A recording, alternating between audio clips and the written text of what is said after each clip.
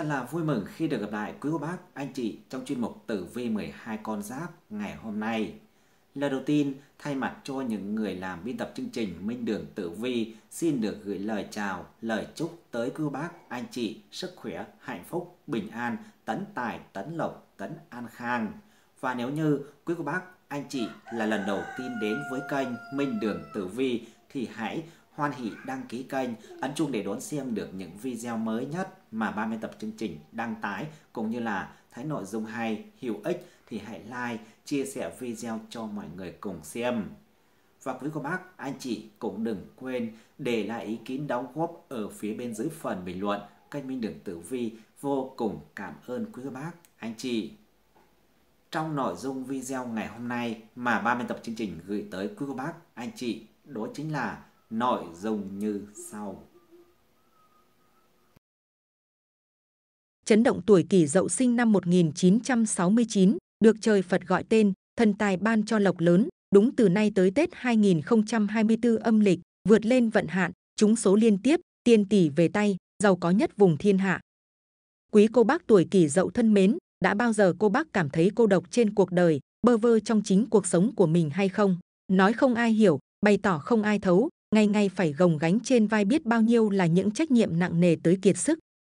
Tôi thấy có những kỳ dậu luôn hết mình chăm lo cho gia đình, vất vả sớm hôn nhưng mãi vẫn không được thành thơi, ngẩng mặt lên với cuộc đời.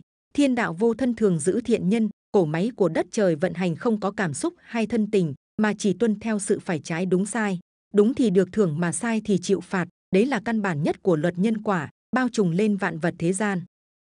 Mọi sự may mắn thuận lợi mà kỹ dẫu có, đến từ những hạt giống thiện lành mà kỷ dậu gieo, mọi sự chắc trở họa hại mà kỷ dậu chịu, cũng xuất phát từ những tiêu cực mà kỷ dậu đã gửi gắm vào cõi đời này. Nên thay vì than thân trách mệnh khi vận chẳng được hay, hãy cứ sám hối cho những tội lỗi mà mình đã phạm phải, sau đấy thay đổi hành vi đối diện và khắc phục, rồi từ từ quả nghiệp sẽ được tiêu tan. Lại nói sự nghiêm chính trong đạo trời có vẻ bất cần nhân tình, nhưng thực tế đất trời vẫn luôn ưu ái những người thiện, nhưng cái gọi là tâm lành hành vi tốt thì đi khắp thế gian không có gì phải sợ hoặc kỷ dậu chỉ cần sống lương thiện trời xanh ác sẽ an bài chính là giảng đơn như vậy khi xem luận giải tử vi cho 12 con giáp đúng từ nay tới hết năm Quý Mão 2023 âm lịch này, các bậc thầy tử vi đã bất ngờ tiết lộ rằng tuổi kỷ dậu sinh năm 1969 sẽ là con giáp nhận được rất nhiều may mắn và cơ hội mà thần tài ban tặng để cải biến vận mệnh đổi đời giàu có và an yên cuộc sống sẽ được hanh thông và suôn sẻ hơn rất nhiều so với thời gian trước nếu như bản mệnh nắm bắt được trọn vẹn vận trình này và có hướng đi chính xác nhất. Vậy chi tiết diễn biến về vận trình trong khoảng cuối năm 2023 âm lịch này như thế nào thì ngay sau đây hãy cùng Minh Đường Tử Vi đi đến phần luận giải chi tiết nhé. Thưa quý cô bác tuổi kỷ dậu thân mến, cái khả năng thích ứng trong mọi tình huống, thích nghi trong mọi hoàn cảnh sẽ là cái gốc cần đánh thức. Vậy để đi được đúng hướng ở đoạn đường đời này, cô bác đã khá chăm rồi, nhưng đấy là cô bác chỉ nghĩ thế thôi thực ra cô bác vẫn còn lười lắm và vì thế mệnh số sẽ sắp xếp thử thách để cô bác chăm chỉ mà vượt qua bớt đi mâu thuẫn mà bước chân vào con đường dài lâu của đoạn tiền hậu vận này. Mong cô bác tự tin vào bản thân, tự tin vào bản tính, tự tin vào khả năng và cảm nhận vào trực giác của chính mình. Cô bác đã qua được gần hết năm thử thách 2023 này rồi, đoạn còn lại lắm lúc chỉ như một cái búng tay tách và chuyển cảnh này. Kỳ dậu thân mến, cô bác còn nhớ có cái thời cô bác suy nghĩ mọi sự giảng đơn chứ, tự tin cho rằng chỉ cần mình cố là sẽ thắng, chỉ cần mình chiến là sẽ được bao lần vỡ òa vì nước đến chân mới nhảy nhưng lại nhảy được rất xa. Bao lần đạt được thắng lợi nhỏ nhỏ về thân sau khi dày công kỷ luật. Tất cả những thứ đấy có thể cô bác đã quên vì bị không gian xung quanh đồng hóa. Có thể cô bác không còn nhớ vì bị đời vùi cho suốt những năm vừa rồi. Nhưng đừng tự khóa lại những sự bất phàm của bản thân như thế. Cạm cụi và lầm lũi chăm chỉ và lì đòn thêm tính kỷ luật cùng biết dựng xây tính toán kế hoạch cuộc đời. Kỷ dậu chắc chắn sẽ còn lật mình và tiến xa. Tôi không quan tâm cô bác bao nhiêu tuổi, cũng chẳng quan tâm cô bác mạnh yếu thế nào. Tôi chỉ mong cô bác luôn giữ vững niềm tin vào cuộc sống, tin vào chính bản thân mình. Việc cải vận thay mệnh sẽ chẳng khó khăn gì với kỷ dậu cả. Một trong những điều mà thầy bói đã phán, đó là người kỷ dậu chưa thực sự hiểu chính bản thân họ, suốt ngày lo nghĩ cho người khác mà lại chẳng quan tâm yêu thương bản thân mình đến tuổi này rồi mà vẫn chưa hiểu được tại sao bản thân mình vẫn mãi cực khổ thì cũng vừa đáng trách mà vừa đáng thương dẫu biết cuộc sống kỷ dậu cũng không dễ dàng gì cày như trâu mà lại chẳng nhận được thành quả xứng đáng sống hiền lành nên luôn bị bất công chèn ép thị phi bùa vây Kỷ Dậu à, đã đến lúc chấm dứt sự thống cổ này thôi, hãy ngồi lại và lắng nghe bản thân của mình nhé. Từ nay tới Tết 2024 chính là thời điểm dưới tác động của Nguyệt lệnh lâm thai, cuối năm 2023 âm lịch này có thể nói là một khoảng thời gian tràn đầy hy vọng đối với người tuổi Kỷ Dậu. Cốt là cô bác có nắm bắt được và quyết tâm thực hiện kế hoạch mà mình đặt ra đến cùng hay không mà thôi. Thưa quý cô bác tuổi Kỷ Dậu 1969 thân mến, sống tới từng này tuổi rồi, nhưng quý cô bác đã thật sự hiểu về tính cách hay bản tính thật sự sâu bên trong con người mình chưa? Hãy cùng Minh Đường Tử Vi đi tìm hiểu về đặc trưng tính cách của mình nhé. Gà là động vật thức dậy sớm vào mỗi buổi sáng, như mọi người cũng biết gà trống hay đánh thức con người và vạn vật xung quanh bằng tiếng gáy của mình. Do vậy, những người tuổi gà cũng tiên phong, dũng cảm đứng về phía trước. Bên cạnh đó, họ cũng vô cùng lịch sự và không sợ khó khăn. Những căng thẳng hay nghịch cảnh chỉ có thể thúc đẩy họ vượt qua hơn chứ không bao giờ nản chí. Những người tuổi gà thường suy nghĩ sâu sắc, họ luôn biết nắm bắt cơ hội, có khả năng nhận diện cơ hội từ rất xa. Người tuổi dẫu có thể là những bậc thầy khó tính, nhưng họ đều được tha thứ vì rất giỏi trong việc nắm bắt và quan sát hành vi của người khác. Sự quả quyết và thái độ của họ đã giúp cho chất lượng công việc ngày càng tốt hơn. Đa số những chú gà này là người có trách nhiệm với công việc, hoặc họ sẽ cố gắng hết sức để hoàn thành chúng trong khả năng của mình. Hầu hết những người tuổi gà đều định hướng tốt về nghề nghiệp cũng như nhiệt huyết trong công việc, bởi vì sở hữu tính cách mạnh mẽ, nên đa số công việc của họ có liên quan đến thiết kế, sáng tạo, nghệ thuật. Nếu làm những công việc này, họ sẽ rất thành công. Bên cạnh đó, họ cũng thích nghi và có khả năng cân bằng giữa công việc và vui chơi. Đặc điểm đặc biệt của những người tuổi gà là sự tự tin vô cùng mạnh mẽ. Họ luôn nhận thức được khả năng của mình và tự hào với điều đó. Tuy nhiên, điều này đôi khi cũng gây khó chịu với người khác nếu họ cứ không ngừng khoe về thành tựu của mình. Thỉnh thoảng những người tuổi gà cũng khá cố chấp, họ luôn nghĩ mình đúng và muốn giảng dạy người khác. Trong một vài tình huống khác, họ sẽ trở nên quá thẳng thắn và có phần hẹp hòi. Hầu hết những người tuổi gà đều không có nhiều kiên nhẫn và kiên trì để tập trung vào một việc gì đó. Ban đầu họ có thể rất nhiệt tình nhưng sau đó sẽ nhanh chóng mất hứng thú. Bởi vậy họ cần tự tin vào bản thân và kiên nhẫn tập trung vào một vấn đề. Tuy nhiên, những người tuổi gà đều rất đúng giờ khi làm việc. Thưa quý cô bác tuổi kỷ dậu 1969, cũng đã sắp bước qua năm mới 2024 rồi và để có một năm mới thuận lợi, may mắn, quý cô bác cần chọn cho mình người hợp tuổi đến sông đất lấy may đầu năm mới 2024. Vậy Tết năm 2024 này, quý cô bác nên chọn tuổi nào để sông nhà? Xin mời quý cô bác cũng dõi theo video dưới đây nhé. Đầu xuân năm mới, người Việt ta có truyền thống chọn người hợp tuổi đến sông nhà để cầu mong một năm may mắn, tài lộc sung túc. Gia chủ tuổi Dậu 1969 nên chọn các con giáp tuổi Tỵ, Sửu theo tam hợp Tỵ, Dậu, Sửu hoặc tuổi Thìn theo nhị hợp Dậu, Thìn. Ngoài ra, nam mạng kỷ Dậu 1969 cũng có thể chọn những người mệnh hỏa tương sinh với mệnh thổ của tuổi. Sau đây là những tuổi rất hợp sông nhà cho gia chủ kỷ Dậu 1969, Ất Sửu 1985, Mậu Thìn 1988, Kỷ Tỵ 1989, Đinh Sửu 1997, Canh Thìn 2000, Tân Tỵ 2001. Người đến sông đất đầu năm là nam hay nữ đều được, chỉ cần là người hợp tuổi, có nhân cách sống tốt đẹp, tử tế sẽ giúp chủ làm ăn phát đạt, an khang thịnh vượng trong năm mới. Đầu tiên là tổng quan vận mệnh giai đoạn cuối năm 2023 âm lịch, người tuổi kỷ dậu 1969, thời gian cận Tết, hay còn gọi là tháng cũ mật này, tuổi kỷ dậu gặp được cục diện tam hợp thái tuế, báo hiệu đây sẽ là một khoảng thời gian nhiều điểm sáng với con giáp này. Mọi việc đang có những chuyển biến tích cực hơn, cải thiện rõ rệt so với thời gian trước đó. Phương diện sự nghiệp của kỷ dậu có thêm các tinh thiên ấn che chở, nên vận trình không tệ chút nào. Bạn bình tĩnh và tập trung trong công việc, hoàn tất được nhiều nhiệm vụ chưa hoàn thành từ trước. Các mối quan hệ với đồng nghiệp, đối tác đều diễn ra tốt đẹp, mang tới cho bạn nhiều sự hậu thuẫn. Sức mạnh tập thể càng giúp bạn tiến nhanh và tiến xa hơn. Tài chính ở thời điểm này khá dư giả, kỳ dậu được dự đoán cả nguồn thu từ nghề tay phải và tay trái của bạn đều khả quan. Bạn có thể thoải mái thực hiện các dự định mua sắm, chuẩn bị đón Tết hoặc tự thưởng cho bản thân món quà khích lệ tinh thần cho nỗ lực suốt cả năm qua. Dù vậy con giáp này cũng nên học cách quản lý tài chính tốt, tránh xa đà vào việc sắm Tết quá dư thừa mà gây lãng phí. Mối quan hệ tình cảm cũng có nhiều niềm vui, một số cặp đôi có thể đi đến quyết định quan trọng khi nâng cấp mối quan hệ tình cảm của mình. Gia đạo an ui, vợ chồng đồng lòng vun vén nhà cửa, người độc thân có vận đào hoa, dễ tìm thấy tình yêu định mệnh của mình. Thời điểm này, tuổi kỷ dậu cần đặc biệt lưu ý phương diện sức khỏe, Nguyệt lệnh lâm đất bệnh dự báo những bất lợi cho cơ thể của bạn, có thể là những chứng bệnh cũ tái phát hoặc cơ thể lao lực nên dễ ốm đau. Hung tình ngũ quỷ cũng nhắc nhở con giáp này đi lại, làm việc cẩn thận kẻo bị thương tật, tai nạn. Phương diện tài lộc từ nay tới Tết 2024. Nhờ tam hợp cục nhập mệnh nên phương diện tài lộc của con giáp này khởi sắc rõ rệt, tiền bạc rủng rỉnh, cơ hội thăng thêm thu nhập đến với cả người làm công ăn lương lẫn người làm kinh doanh, cần nhanh tay nắm bắt. Người làm công việc cố định có thu nhập ổn định, nếu làm thêm nghề tay trái thì nguồn thu sẽ dồi dào hơn. Riêng người kinh doanh, buôn bán sẽ có một giai đoạn khởi sắc rực rỡ với tài lộc ồn ồn đổ về nhà. Thời điểm này thích hợp để khởi nghiệp hay mở rộng quy mô kinh doanh.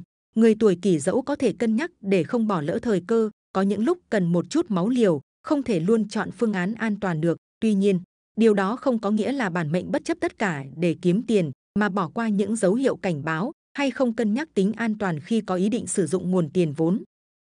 Lưu ý, ất mộc lâm tuyệt cung có thể mang tới những biến động lớn về tiền bạc, lại thêm cả sao xấu bạch hổ. Nếu không cẩn thận, bạn có thể vướng phải tranh chấp kinh doanh, giấy tờ nhập nhằng, mua bán hay hợp tác gặp người cháo trở, thậm chí tình huống nguy cấp còn có thể vướng họa lao tù.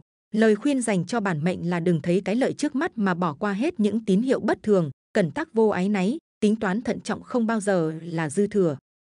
Bên cạnh đó, bạn cũng nên chú trọng cả việc tiết kiệm, kiếm được tiền mà không tích lũy thì tiền núi cũng sẽ cạn kiệt. Nếu tuổi kỷ dậu không giỏi trong khâu quản lý tài chính, có thể nhờ người thân, người đáng tin cậy để tay hòm chìa khóa giúp. Một khi có khoảng tích lũy đảm bảo, bạn cũng có thêm tự tin để theo đuổi lý tưởng của mình.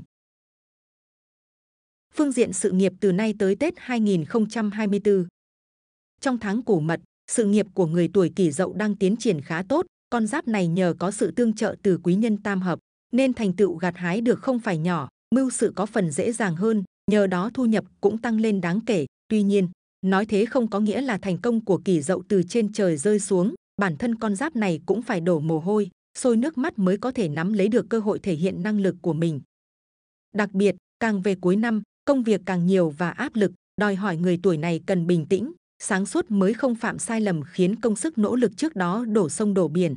Cần hết sức lưu ý, thời gian này Nguyệt lệnh lâm tuyệt ở kỷ dậu có thể khiến vận trình biến động theo chiều hướng khó đoán biết. Sẽ có lúc bạn thấy mọi việc thăng hoa rực rỡ, nhưng cũng có khi tụt dốc, thăng trầm bất định. Tinh thần của bản mệnh cũng bị ảnh hưởng theo đó, cần có sự chuẩn bị tâm lý vững vàng. Bạch hổ và thiên quang hung tin đồng loạt tác động, cũng khiến vận tiểu nhân tiềm tàng. Cuối năm này, bạn càng cần đề cao cảnh giác với những mối hợp tác hoặc đầu tư mờ ám. Thông tin cần được kiểm chứng rõ ràng, chớ vội tin lời chào mời, dụ ngọt của ai đó quá nhanh. Các mối quan hệ trong công việc của bạn cũng có thể đang tốt đẹp, bỗng diễn tiếng xấu đi do va chạm trong quá trình làm việc chung. Do đó, bản mệnh nên học cách kiềm chế cảm xúc, ẩn mình chờ thời. Tốt nhất cần tập trung vào mấu chốt công việc, đừng vì nóng nảy nhất thời mà gây hấn với những người xung quanh. Nhìn chung, sự nghiệp có thuận có nghịch, nhưng cái chính sự thành hay bại là do tuổi kỷ dậu quyết định, yếu tố vận mệnh chỉ là phụ. Cái chính là bản mệnh phải tự biết xoay sở, kiềm chế cảm xúc, tập trung suy nghĩ thấu đáo mọi việc trước khi tiến hành, mọi thứ sẽ đâu vào đó. Một khi bạn hạ quyết tâm và kiên trì theo đuổi mục tiêu tới cùng, sẽ không có khó khăn trở ngại nào ngăn cản nổi bước tiến của bạn. Phương diện tình cảm, gia đạo May mắn tiếp tục đồng hành với kỷ dậu ở phương diện tình duyên, từ nay tới Tết chuyện tình cảm của bạn sẽ có khá nhiều niềm vui, nhờ bán hợp đồng hành. Một số cặp đôi có thể đi đến quyết định quan trọng khi nâng cấp mối quan hệ tình cảm của mình, sớm ngày về chung một nhà, khi giữa hai bạn có sự đồng cảm và thấu hiểu cho nhau. Dù cũng từng nhiều lần trải qua sóng gió, nhưng sau cùng tình yêu vẫn bền vững. Đây là tín hiệu rất tích cực, gia đạo an vui, vợ chồng đồng lòng vun vén nhà cửa. Những ngày cận Tết này chuyện nhỏ chuyện lớn đều được đem ra bàn bạc và hỏi ý kiến đối phương. Nhờ vậy không khí gia đình luôn ngập tràn sự ấm cúng, hòa thuận. Người độc thân có vận đào hoa, nhân duyên khác giới vượn nên dễ tìm thấy tình yêu định mệnh của mình. Nếu tình cảm đến vào lúc này sẽ phát triển rất nhanh, thời gian tới bạn sẽ không còn lẻ loi một mình nữa. Phương diện sức khỏe Điều duy nhất kỷ dậu cần quan tâm là tình hình sức khỏe của mình từ nay tới hết năm 2023 âm do ảnh hưởng của nguyệt lệnh lâm đất bệnh, nên những vấn đề tưởng nhỏ như mất ngủ, ăn uống kém ngon lại khiến thể trạng bạn sa sút nhanh chóng, bệnh cũ cũng có thể tái phát. Nếu thời gian qua bạn đã lơ là việc chăm sóc sức khỏe, những thói quen sinh hoạt thiếu khoa học, lối sống thiếu lành mạnh sẽ khiến bạn phải trả giá. Ngoài ra, hung tinh ngũ quỷ cũng nhắc nhở con giáp này đi lại, làm việc cẩn thận kẻo bị thương tật, tai nạn, nhất là trong những ngày cuối năm này. Trong năm 2024 sắp tới, quý cô bác tuổi kỷ dậu 1969 cũng sẽ gặp khá nhiều vận hạn năm, quý cô bác nên biết trước và làm thế nào để hóa giải biến hung thành cát để có một năm thuận lợi và hanh thông. Xin mời đón xem. Năm 2024 Nam Mạng, tuổi kỷ dậu có sao thổ tú chiếu mệnh, trong hệ thống sao cửu diệu, thổ tú là sao chung vừa tốt vừa xấu, chủ về xuất hành, thị phi, sao thổ tú gây ảnh hưởng với những tuổi có tính tình dễ nóng nảy, bảo thủ, còn nếu nam kỷ dậu làm việc luôn có sự chuẩn bị, tính trách nhiệm và tâm huyết thì không cần quá lưu tâm, dù gặp nghịch cảnh hay thuận cảnh đều bình tâm, tin tưởng vào chính mình. Nam mạng tuổi kỷ dậu trong năm giáp thìn này gặp hạn ngũ mộ, vận hạn chủ về hao tốn tiền bạc, tài lộc. Vì thế mệnh chủ nên quan tâm đến sức khỏe của bản thân, quản lý tài chính cẩn thận không nên nóng vội đầu tư khi chưa tìm hiểu kỹ lưỡng. Để giảm trừ vận hạn, nam mạng tuổi dậu 1969 nên cẩn trọng trong chuyện hợp tác làm ăn. Khi ký tá hợp đồng bản mệnh phải đọc kỹ điều khoản. Khi hợp tác cần phải rõ ràng về tiền bạc, luôn khiêm tốn, tránh chuyện thị phi bao đồng thì mọi việc sẽ bình an. Vận niên của Nam Kỷ Dậu năm 2024 là mã ngộ đao, tức là ngựa bị thương. Năm có vận niên này thì cần chú ý khi xuất hành đi xa. Nếu bản mệnh biết tập trung vào công việc của mình, tránh nóng này, điềm tĩnh trước mọi vấn đề thì công việc được thuận lợi. Gia đình, vợ chồng, con cái của mệnh chủ dĩ hòa vi quý, hòa khí sinh tài. Năm 2024, nữ mạng tuổi kỷ dậu có sao vân hớn chiếu mệnh. Trong hệ thống sao cửu diệu, vân hớn là sao chung vừa tốt vừa xấu, chủ về các vấn đề giấy tờ, kiện tụng, gặp sau này nếu nữ kỷ dậu là người ôn hòa, cẩn thận, bao dung thì sẽ tránh được những thị phi không đáng có. Ở độ tuổi này, mệnh chủ đã hiểu được căn nguyên mọi việc, thấu hiểu nhân thế, vì thế càng bình tĩnh đối diện hiện thực, cuộc sống càng thuận lợi và bình an.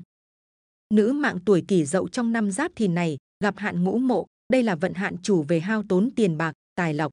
Vì thế mệnh chủ nên quản lý tiền bạc cẩn thận để không bị hao hụt. Bên cạnh đó, nữ mạng tuổi dậu 1969 nên vận động thường xuyên, không thất khuya, ăn ngủ điều độ, để cơ thể có nhiều năng lượng tích cực. Khi suy nghĩ thông suốt, khí huyết lưu thông tốt, thì sẽ tỉnh táo trước mọi việc, tránh được những cám dỗ cạm bẫy bên ngoài. Vận niên của nữ kỷ dậu trong năm 2024 là mã ngộ đao, tức là ngựa bị thương. Năm có vận niên này thì cần chú ý khi xuất hành đi xa. Nếu bản mệnh biết kiềm chế, bình tĩnh trong công việc, làm tốt nhiệm vụ của mình thì sẽ bảo toàn được thành quả. Công việc kinh doanh nên tiếp tục vận hành như trước, không nên vội vàng đầu tư tiền bạc vào lĩnh vực mới, cuộc sống hôn nhân thấu hiểu, yêu thương nhiều hơn. Trong năm Giáp Thìn 2024, để giảm tác động xấu của sao Vân Hớn và hạn ngũ mộ, nữ mạng tuổi kỷ dậu nên sống lương thiện, làm việc tốt, giúp đỡ người khó khăn. Khi cuộc sống chính trực, không có gì phải hổ thẹn thì bản mệnh không cần lo lắng. Bên cạnh đó, để thu hút may mắn và giảm bớt vận hạn, nữ tuổi dậu 1969 có thể thực hiện lễ cúng dân sau hạn tại gia hoặc tại chùa gần nhà. Nghi thức này được thực hiện một lần đầu năm, mệnh chủ chuẩn bị lễ vật tùy điều kiện gia đình, thể hiện được sự trang trọng và lòng thành tâm. Nữ mạng tuổi kỷ dậu có thể sử dụng các vật phẩm phong thủy như mặc Phật bản mệnh, vòng tay trầm hương để cầu may mắn, tốt lành cho năm Giáp Thìn 2024. Người tuổi Dậu 1969 được Phật Bất Động Minh Vương hộ mệnh, chủ nữ kỷ Dậu đeo mặt Phật Bất Động Minh Vương bên mình để luôn được Đức Phật bảo hộ che chở, dẫn đường chỉ lối. Nữ mạng 1969 mệnh thổ, những vật phẩm mặt Phật làm từ đá mắt hổ vàng nâu, tương hợp hoặc đá mã não đỏ, tương sinh, rất tốt cho bản mệnh. Dự đoán tử vi 12 tháng âm lịch trong năm 2024 của tuổi Dậu. Tháng 1 năm 2024 âm lịch, kinh doanh, buôn bán thuận lợi, suôn sẻ, có thể bắt đầu một dự định quan trọng nào đó được quyết định một cách chóng vánh, nhưng đúng đắn, tình cảm gặp biến cố do có sự dối trá. Tháng 2 năm 2024 âm lịch, tiền bạc tiêu tốn, có điểm mất của, sự cao ngạo của bản thân đã làm vuột mất cơ hội làm ăn lớn đã tới ngay trước mắt. Tháng 3 năm 2024 âm lịch, tài lộc khởi sắc, làm ăn vượng pháp, người làm công ăn lương có điểm thăng quan hoặc tăng lương, thưởng, xuất hiện quý nhân phù trợ và có tin vui trong nhà. Tháng 4 năm 2024 âm lịch, cần đề phòng khi phải phụ trách một công việc quan trọng nào đó vì sẽ gặp rắc rối và người ta chỉ quy kết cho người đứng đầu, hóa giải bằng cách hợp tác với người hợp tuổi để suôn sẻ hơn, sức khỏe giảm sút, bị bệnh đau nửa đầu hoặc các bệnh liên quan đến mắt nên đi thăm khám kịp thời. Tháng 5 năm 2024 âm lịch, tài chính tiêu hao do tiêu tốn tiền của những mối quan hệ xã giao hoặc mua sắm cho bản thân, đề phòng mất đồ hoặc hỏa hoạn. Tháng 6 năm 2024 âm lịch, công việc thuận lợi nhờ quý nhân phù trợ, tình cảm thăng hoa, có điểm báo sẽ có khách quý từ phương xa mang đến tin vui bất ngờ. Tháng 7 năm 2024 âm lịch, tài lộc vượng phát khi làm ăn thuận lợi, hợp đồng buôn bán được ký kết những mối lớn giúp thu về lợi nhuận dồi dào. Tháng 8 năm 2024 âm lịch, đề phòng tai nạn khi đi lại do có điểm báo họa hình thương, dễ bị vấp ngã, va quệt xe cộ, phụ nữ mang thai càng thêm cẩn trọng. Tháng 9 năm 2024 âm lịch, sự nghiệp tiếp tục thăng tiến nhờ những ý tưởng sáng tạo hỗ trợ công việc phát triển nên có thể được cấp trên cất nhắc lên chức, tiền bạc dùng rỉnh nhờ thu nhiều hơn chi. Tháng 10 năm 2024 âm lịch, tài khí vượng, tiền bạc gia tăng do có thêm nhiều nguồn thu, có thể thăng tiến cao hơn khi thể hiện được năng lực của bản thân. Nhưng sức khỏe giảm sút do sự lao lực quá độ, cần sắp xếp lại công việc để có thời gian nghỉ ngơi. Tháng 11 năm 2024 âm lịch, có điểm báo tiểu nhân phá hoại, thị phi đeo bám, khiến công việc không được thuận lợi, mối quan hệ tình cảm cũng không như ý muốn, đề phòng tai nạn sông nước khi đi xa. Tháng 12 năm 2024 âm lịch, tài chính tăng lên đáng kể nhờ các khoản thu nhập phụ, lương thưởng gia tăng, vận quý nhân vượng nên các mối làm ăn, công việc đều thuận lợi, gặp khó hóa dễ, bản mệnh có thể mạnh dạn chuyển đổi công việc hay mô hình kinh doanh. Một số lời khuyên cho những người tuổi kỷ dậu năm 2024 để giảm thiểu tối đa những bất lợi và để những cát khí có điều kiện thăng hoa, những người tuổi kỷ dậu nên chú ý thêm những vấn đề sau trong năm 2024 này. Tuổi dậu cần cẩn thận với những kẻ tiểu nhân, kẻ thù ngầm, cần cẩn trọng trong việc đầu tư, tránh bị lừa gạt, chiếm đoạt tài sản. Cần chú ý đề phòng những bệnh về xương khớp, đau đầu, chóng mặt, cần cẩn thận trong việc lựa chọn đối tượng khi còn độc thân. Tổng kết, xem tử vi năm Giáp Thìn 2024 này, tuổi kỷ dậu có một năm đầy tài lộc và sự nghiệp thăng tiến không ngừng. Họ như cá gặp nước để thỏa sức thể hiện những tài năng của bản thân và đón nhận những thành quả xứng đáng với công sức bỏ ra. Thưa quý vị, 1969 cũng không còn trẻ nữa rồi, do đó, nếu đàn ông gần 60 tuổi mà vẫn có đầy đủ những điều dưới đây, chứng tỏ cơ thể của họ rất khỏe mạnh. 1. Tập thể dục mà không bị hen suyễn. Sau khi bước vào tuổi 65, thể chất không còn được như trước, nam giới có thể gặp phải nhiều vấn đề như loãng xương, suy giảm chức năng tim, phổi, máu lưu thông chậm, đặc biệt sự suy giảm chức năng tim phổi được thể hiện rất rõ khi vận động. Nếu đàn ông đến độ tuổi này vẫn có thể tập luyện thể dục thể thao và không có các biểu hiện như khó thở, tim đập nhanh, chứng tỏ thể lực tương đối tốt, chức năng tim phổi tương đối mạnh. 2. Tiểu tiện mà không bị cản trở. Tuyến tiền liệt là cơ quan đặc trưng của nam giới, nằm phía dưới bàng quang, trên hoành chậu hông và nó bọc quanh niệu đạo sau.